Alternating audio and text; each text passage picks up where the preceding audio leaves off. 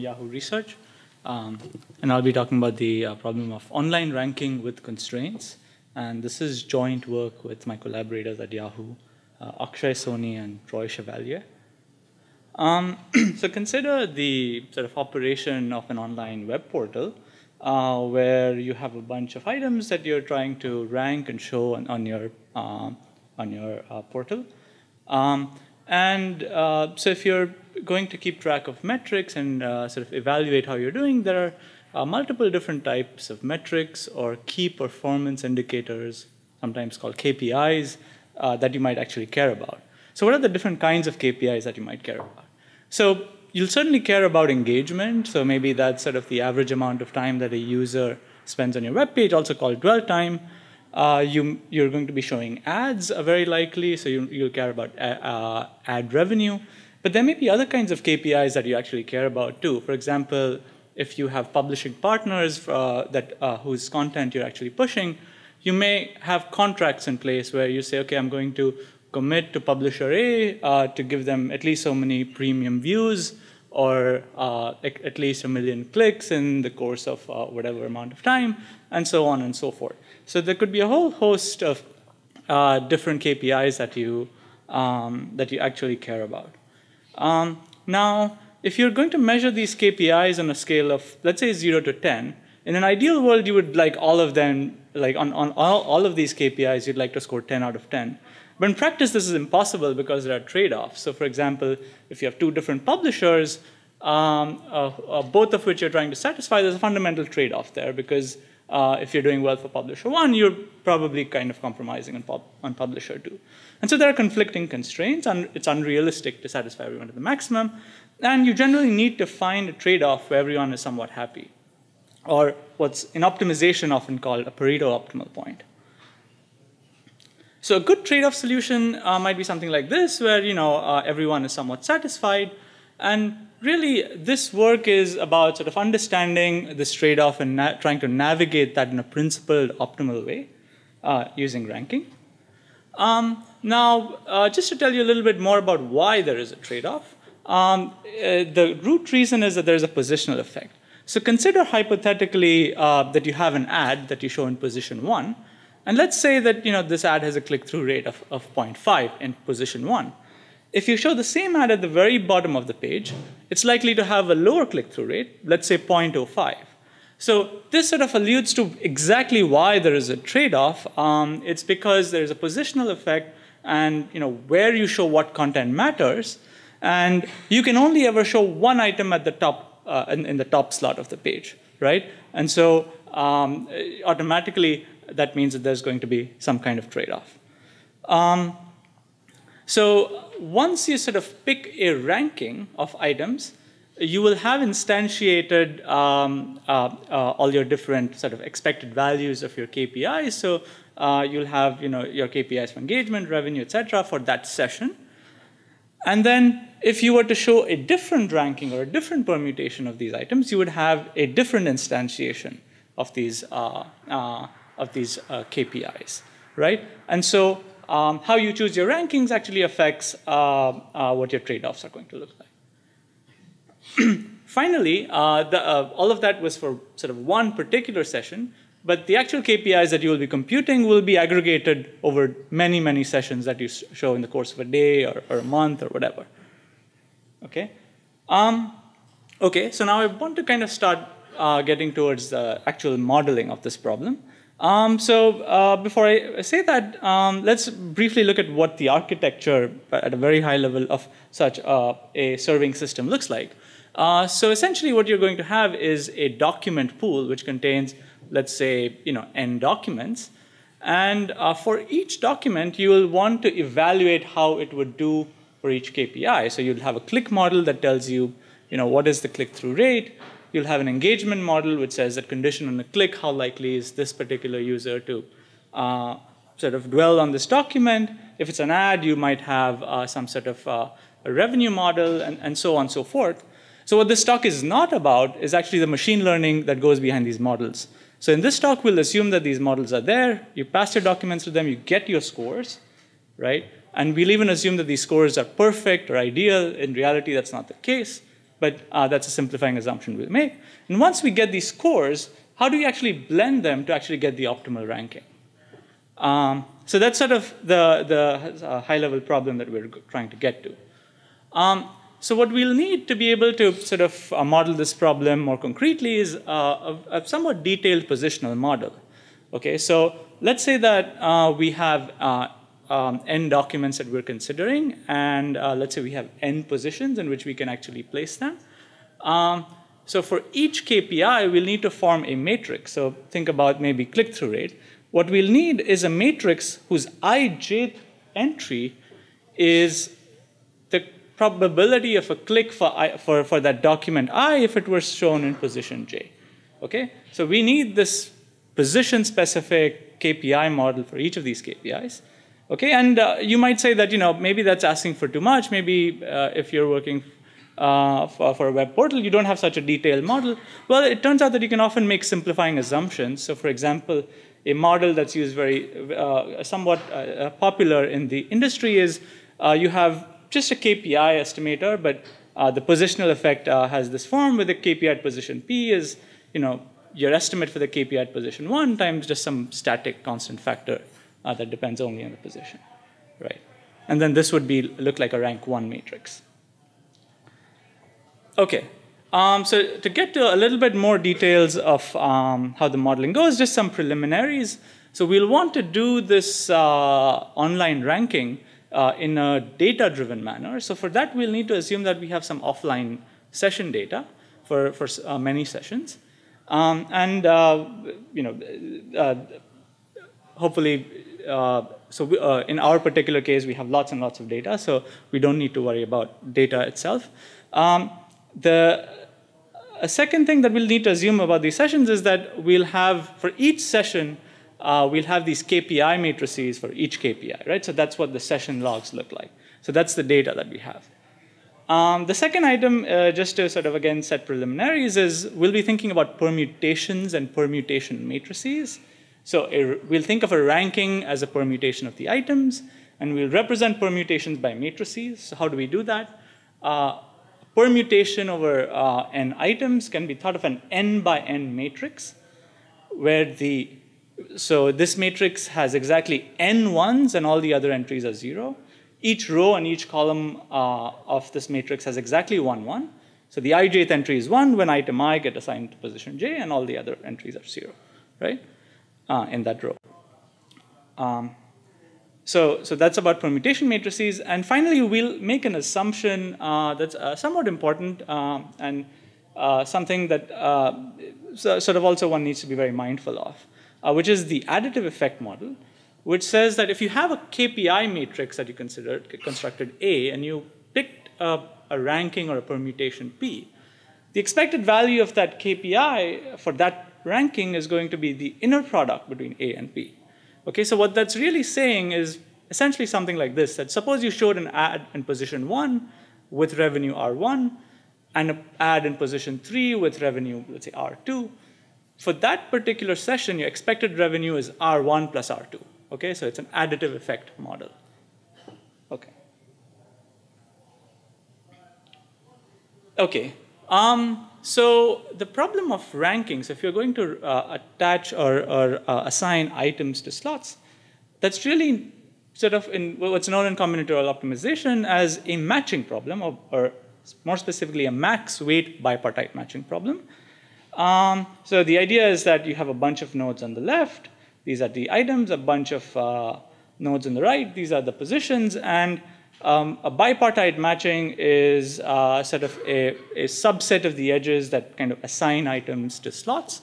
Now, uh, for each KPI, you can think of uh, these edges or, or, the weights of these edges as being um, exactly the indices of that KPI matrix. Um, and to solve a uh, max weight bipartite matching problem, fortunately, we have a nice combinatorial algorithm called the Hungarian algorithm um, and we'll kind of be using that. But uh, we'll sort of first take a permutation view of the problem and try to model this problem as a linear programming problem, uh, right? Uh, so we'll think of the max weight bipartite matching problem as a linear program in the following way. So uh, the linear program that we'll be interested is, uh, in is this one. So we'll want to maximize over P uh, the inner product of C and P. So C is a KPI matrix again, P is the permutation, the set of permutations we're trying to optimize over, subject to P being a permutation matrix. And then we can relax this, uh, uh, this constraint P being permutation matrix to being in the convex hull of permutation matrices, right? And this is, because the objective function is linear, this relaxation does not lose anything, uh, essentially. Um, and it turns out that sort of this, the convex hull of the set of permutation matrices is actually a very nice polytope. Uh, it's called the Birkhoff polytope. And it's essentially just the set of doubly stochastic matrices, if you've uh, actually heard of them. So um, the set of doubly stochastic matrices is the set of matrices whose row and column sums sum to 1 and whose entries are non-negative. So, so solving this linear program uh, is actually tractable and, uh, and uh, uh, uh actually pretty standard. Okay, so, so that was uh, some of the background that we need. Um, now, let me actually get into the actual formulation of the problem. So the way we'll think of this traffic shaping problem that uh, I'm, I'm talk, uh, I want to actually get to is the following. So we want to maximize, so we want to pick rankings so that we maximize engagement. So just a word description of the problem.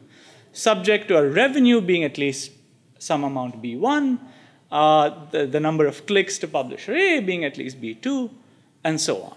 And these B1, B2, etc., are uh, going to so, sort of we're assuming that they're going to be given to us by some product considerations.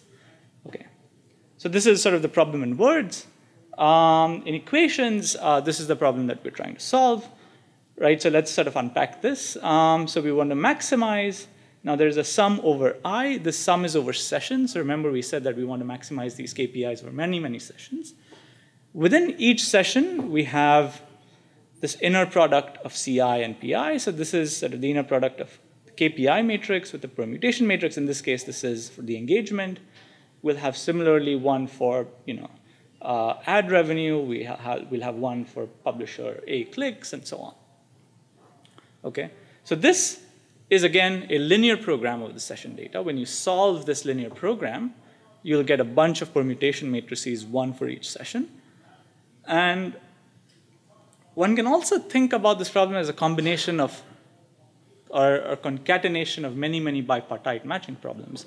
Because as I mentioned earlier, each inner product of this form is really a bipartite matching problem. So we have for session I a bipartite, bipartite matching problem involving engagement, involving the first KPI, and so on. Okay? Um, so so as I mentioned, the solution of this actually gives you a, uh, the permutations that you're after. Um, and that's great once, when you're trying to solve that for your offline data. But in an online serving environment, you really don't want to have to solve linear programs, right? Your latency constraints might not allow you to actually do that. Um, so how do we actually get around that and uh, solve this linear program very quickly? um, or solve this problem very quickly without solving the linear program. And uh, to get to that, we'll need to use linear programming duality and uh, interpret this linear program's dual variables a little bit. Uh, so essentially, what the dual variables of this linear program uh, mean the, is the following. It attaches relative importance of each of these KPI constraints, right? So it says by default, the objective, which is the engagement, has um, a relative importance of one. So, uh, you know, this is scale invariant, so we can assume that this is one. Uh, constraint one has some importance, lambda one, which is the optimal dual variable to this linear program uh, with respect to this constraint. And so on, constraint two is lambda two, and so on. So we can think of these uh, importances as being prices uh, which convey how much weight to assign to each KPI when we're trying to do the online ranking. Okay, so um, uh, again, so uh, recall that in each session we have a bunch of different simultaneous bipartite matching problems that are going on, one for engagement, one for revenue, one for publisher A clicks, and so on. And what these dual variables, the dual prices allow you to do is combine all of these bipartite matching problems by assigning these relative weights and then combining it into a single, one single bipartite matching problem, which you can then solve. Okay? Uh, so the actual algorithm for our online ranking is the following. So you take your offline data, solve the dual LP on the historical data, get the prices, and then online you just solve this weighted bipartite matching problem with respect to these dual variables. Okay? Um, and uh, so uh, one sort of subtle point here is that whether or not you can actually implement the Hungarian algorithm at runtime, it depends on the number of documents that you're trying to rank at runtime.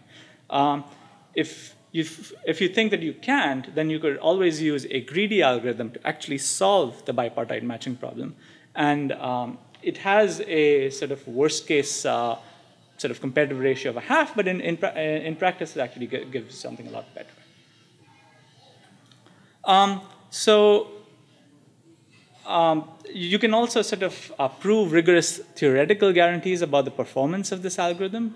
Um, so let me just say a, a little bit about, uh, about these guarantees. So to um, uh, the quantity that we're going to give guarantees about is called the competitive ratio.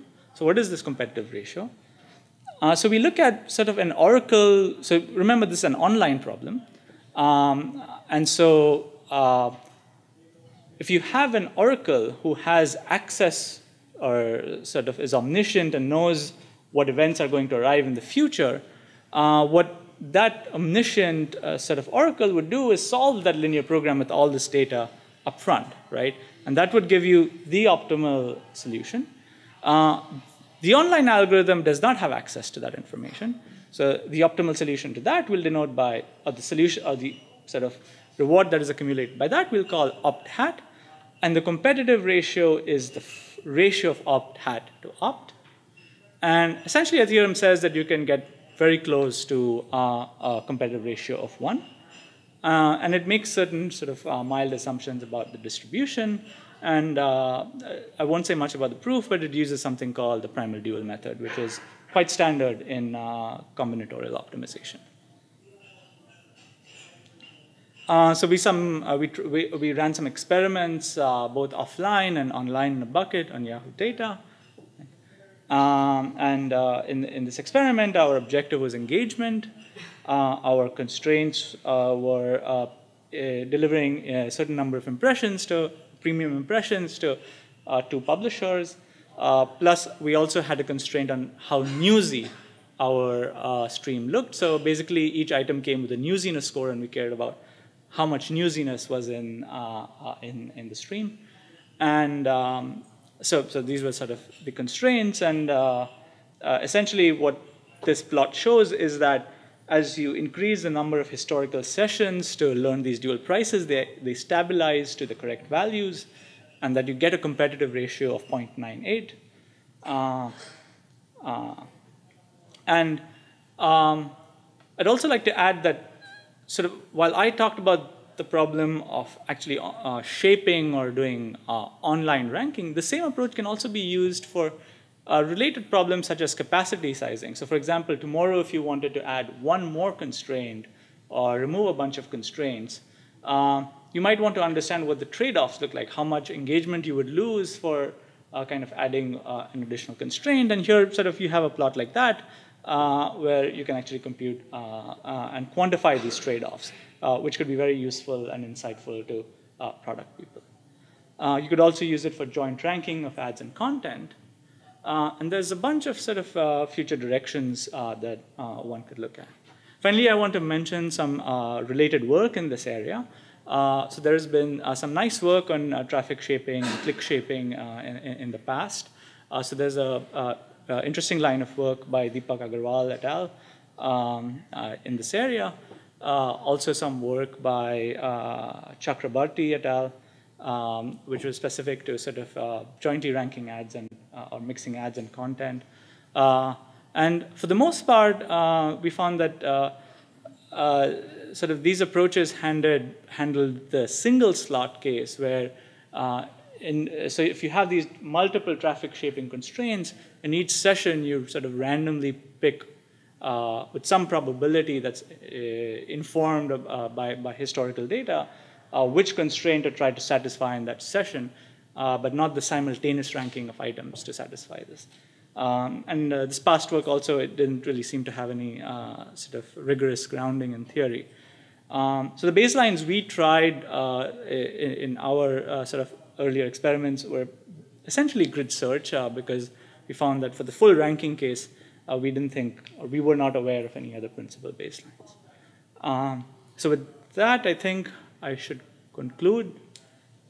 Uh, thank you very much for your attention.